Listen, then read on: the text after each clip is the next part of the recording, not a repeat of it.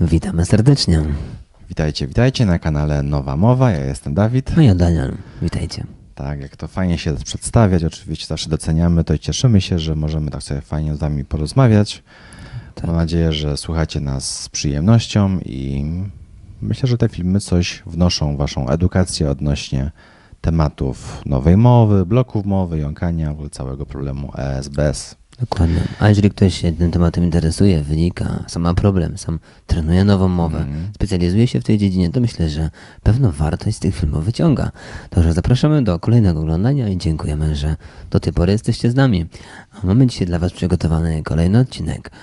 Tak, i dzisiaj o czym opowiemy? O filmie. Film o właśnie o jąkaniu, Tak. Bo w tytule jest When I Stutter, czyli Kiedy się jąkam. Mhm. Kiedy się jąkam. I jest to film, który dostał wiele nagród na różnych konkursach filmowych. Mhm. Krótki film. Krótki, to prawda, chyba taki krótkometrażowy, Mhm. do 10 minut. E, No i właśnie to jest film, historia właściwie, kilka historii. Różnych osób. Dorosłych, Osób, które dzieci, ma- tak, Mhm, które mają problem z jąkaniem całe życie. całe Jąkają życie. się, blokują. Tak. No i właśnie ten film miał jakby zainspirować, no ale też pozwolić zrozumieć osobom, które nie mają tego problemu, tudzież specjalistom, jak właśnie wygląda ten problem z perspektywy samych osób jąkających się i z blokami, żeby na przykład lepiej im pomagać. Mm? No właśnie, i teraz posłuchamy dzisiaj, co takie osoby, które przeżyły całą historię z blokadami jąkaniem, co oni właśnie mówią Tak. w teraźniejszym czasie, ponieważ dalej się zmagają tak z tym problemem, walczą z tym i mówią właśnie o doświadczeniach, jaką sprawiło im przykrość ten problem i jak teraz się czują, jak funkcjonują. Tak, posłuchajcie fragmentów. Opowiem o ciemnej stronie jąkania. They się każdego dnia. Chciałem mówić jak każdy. Ludzie myśleli, że jestem głupi. Take the anger Byłem zły um, at na myself siebie or how I talk. za to, jak mówię. No właśnie, i tu na samym wstępie mamy, że mówi pan, powiemy o tej ciemnej stronie jąkania. No tak, jakby jeszcze była jakaś jasna, nie? Tak. Oczywiście, że ma ciemną stronę cały czas. Właściwie jak chodzi o sam aspekt jąkania, blokad, no to raczej nie jest to przyjemne, No więc nie. nie ma tych jasnych stron i pozytywnych Tak. w tym problemie. No i tutaj w tej krótkiej zajawce już tam mamy takie stwierdzenia. Czasami czułem się jak głupiec, Mhm. mm, nikt mnie nie rozumiał, chciałem mówić jak inni. Mhm. No i to są takie pragnienia właśnie osób, które mają te blokady. Tak, wręcz takie marzenia nawet, żeby mówić płynnie. Tak. I właściwie no, cały ten film jest w takim kontekście. On pokazuje, jak się cierpi Mhm. Właśnie z tego problemu, że ma się jąkanie. No ale jednocześnie zobaczcie, że te osoby no, udzieliły się i Mhm. no, opowiedziały to w filmie publicznie. Mm. No właśnie, to jest, no i właśnie to jest to, więc one muszą teraz też mieć pewien dystans, pewien Tak, dystans tak. do swojego problemu. Mhm. I też to potem mówią, prawda, w trakcie filmu, że one już na pewnym poziomie to akceptują, Tak, tak. ale bardziej nauczyli się z tym żyć, bo tak to można bardziej trafnie nazwać. Mhm. No i właśnie, żeby mieć dystans, zobacz, i wypuścić film, no to trzeba coś w sobie jeszcze przeorganizować, nie? Mhm. Bo to jest inna sytuacja, jeśli tak jak nasi kursanci mają w alternatywie nową mowę, Mhm. którą posługują się i pokazują ewentualnie jakieś stare nagranie jako materiał porównawczy, Tak. to jest inna sytuacja. Mm. To, co sam zrobiłem Tak, w telewizji jeszcze, tak. publicznie zgo- sam zrobiłeś to jeszcze tak. Zgodziłem się pokazać moją starą mowę. To tak. oczywiście zaraz wow, kiedyś. Ale zwróć uwagę, szybko jesteś zapominany w tej starej Tak. mowie, bo ty tak dużo mówisz nową mową, że zaraz, Mhm. a no przecież tutaj fajnie już mówisz. A jednocześnie było to fajne, żeby pokazać jakiś kontrast, w ogóle Tak. taki, taki punkt odniesienia, jak Tak. to było, kiedy ciężko mi było jakieś słowo siebie Mhm. wydusić w ogóle i jakieś płynne zdanie No stworzyć. właśnie. A tutaj potem, jak skończył się filmik, to fajny mój komentarz na żywo pytaniu na śniadanie, Tak. gdzie, gdzie emocje jeszcze duże są, Mhm. a mimo tego fajnie się przedstawiłem i, i powiedziałem kilka słów o sobie. Tak. I dlaczego uważamy, że osobom z jąkaniem i blokami trudno jest mówić o tym problemie? Bo to jest sytuacja niekomfortowa. Mówimy o czymś, co nas aktualnie boli, o tej ciemnej stronie Mhm. i której do końca nie rozumiemy jeszcze, zobacz. Tak. Mhm. Bo to się dzieje w naszym życiu. Jesteśmy bezradni, jesteśmy poddani tej mocy napięć ESBS-u, Mm, nawyku. nawyku, bloków i my jakby wyjaśniamy, tłumaczymy, że nam jest źle, jak cierpimy, że my się źle czujemy, czujemy się jak głupiec, czujemy się nienormalni, ale my właściwie nie wiemy, co rządzi tą siłą. Mhm. Mm? I dlaczego rządzi? Dlaczego rządzi? I czasami jest tak, że te definicje zająknięć bloków właśnie osób, które mają aktualnie ten stan, są takie nieadekwatne. Zobacz. Mhm. Tak, tak bardzo często jest. I Pamiętasz właśnie- też naszych kursantów, którzy jeszcze są przed kursem. Mhm. Dokładnie. No. Co mówią? No, właśnie często jest tak, że ciężko jest im opisać ten, Tak. ten, ten stan aktualny, bo właśnie nie ma tego punktu odniesienia, Mhm. jak to jest żyć i mówić bez blokad i jąkania. Więc opisują Tak. często po prostu ten stan, w którym tkwią, w którym są.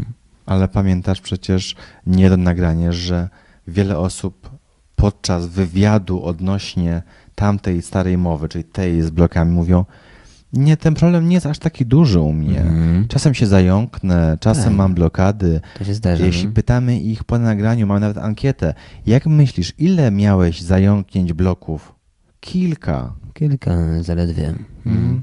Czyli nie są świadomi w ogóle skali tego problemu. Dopiero zderzenie się z nagraniem, Mhm. Tym audiowizualnym, otwiera oczy. Mhm. I serce mam faktycznie spory problem. To tak się działo z moją twarzą, to Mhm. takie mięśnie, tak się mi wykrzywiało wszystko. Tak dziwnie wyglądam. Ja nie wiedziałem nawet. Jakieś współruchy, jakieś tiki różne Mhm. w trakcie mówienia. Tak. Teraz wiesz, jak ta osoba ma być wiarygodna? Ona nie jest w stanie być wiarygodna, Mhm. mówiąc z perspektywy tego problemu. Tutaj jakby y, ktoś, będąc w labiryncie, mówił o labiryncie. Mhm. Nie da się. Trzeba popatrzeć na labirynt z góry, Jak żeby o wygląda. nim mówić. Tak, dokładnie. Mhm. I taką perspektywę no właśnie nabieramy podczas treningu nowej mowy. Ona jest tak dalece odległa od starej, że tworzy jakby tą orbitę, Mhm. te, tą, ten inny punkt odniesienia, że patrzymy zupełnie inaczej na życie w tej starej mowie i w blokach. W No właśnie, nawet ostatnio właśnie też taką książkę tu przytoczyliśmy Mhm. o specjalistach i ci specjaliści właśnie opierają się często na doświadczeniach osób Mhm. z jąkaniem, z blokadami. I jakby na podstawie tego budują dla nich jakąś tam Tak. terapię czy metodę właśnie. Yy, przez to, co te osoby mówią. Mm, i Pamiętasz często- o bloku, jak było, tak, nie? o bloku. Jak, jak ma ta osoba sobie z, z tym blokiem radzić? Policz do sześciu. Policz do sześciu, Mhm. w trakcie masz blok, przerwij. Policz do sześciu. raz, dwa, trzy, Tak. cztery, pięć, sześć i kontynuuj. Nie przejmuj się, to to tylko chwilowa pomóc. przerwa. Mm. A wiemy, że to jest nie do zrobienia taka, taka rzecz. Tak. I jakby ci specjaliści jakby chcą pomóc tym osobom, bo te osoby mówią, że po prostu mm, wtedy mają problem. Mhm. No i ci, ci specjaliści starają się jakoś prowadzić daną metodę, Tak. żeby im pomóc. Ale właśnie ten, y, ta osoba, która ma problem, idzie przez ten Mhm. labirynt i mówi o, tu nie wiem gdzie skręcić, Tak. tutaj nie wiem jak iść dalej. Mm, I próbuje na, na siłę szukać tych rozwiązań, Właśnie. a nie patrzeć z góry, Bo jaka jest, prawidłowa no droga. tak, wiesz, bo to jest tak, że jakby ten specjalista wchodzi do tego samego labiryntu Tak.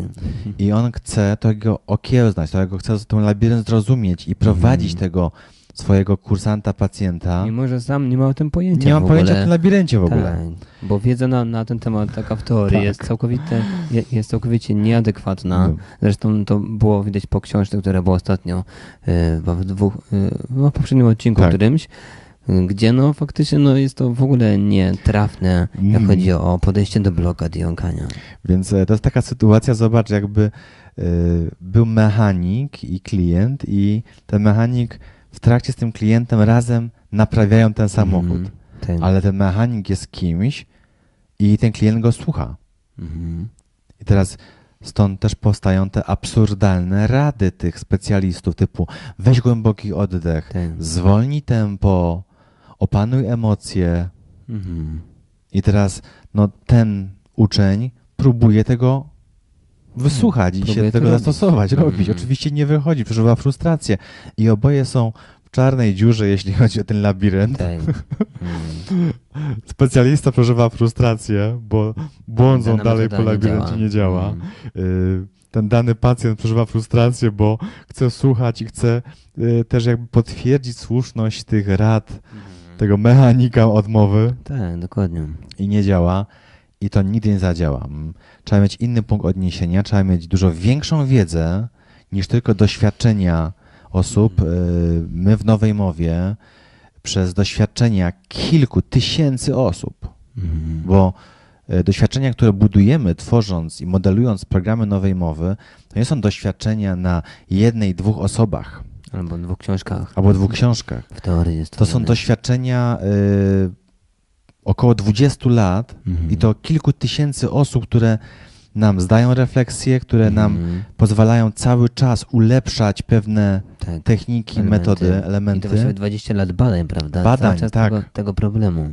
Jak jeszcze lepiej sobie z nim radzić. Mm. I aktualnie na tym poziomie jest naprawdę już taki fajny level, Tak. że tak powiem, Mhm. treningu nowej mowy, że naprawdę już no, taki sukces mowy można bardzo szybko zdobyć, szczególnie jak, jak patrząc jeszcze kilkanaście lat wstecz, Wstecz. to Mm. teraz naprawdę już można tak skutecznie trenować, luz w mowie, spokój, płynność i to wszędzie. Dokładnie. Dziękujemy, że dzisiaj byliście z nami, także zachęcamy Was do zgłębiania wiedzy na temat nowej mowy, na temat tego właśnie, jak należy patrzeć na ten labirynt starej Tak. i przez to rozwijać właśnie swoje myślenie odnośnie zmian różnych, szczególnie osoby, które mają te problemy i nas słuchają, e, to popatrzcie właśnie w ten sposób e, labiryntu od strony tak. uczestnika. Na przykład e, fajna książka Kto zabrał mój ser? Mhm. O labiryncie Pokazuje polecamy. właśnie, jak podążać albo jakimi myślami, Myślami się kierować. się kierować Mhm. aby właśnie skutecznie przez ten labirynt sobie przechodzić. Tak. Dziękujemy za uwagę dzisiaj. Do zobaczenia w kolejnym odcinku. Do zobaczenia. jutro. Cześć. Cześć.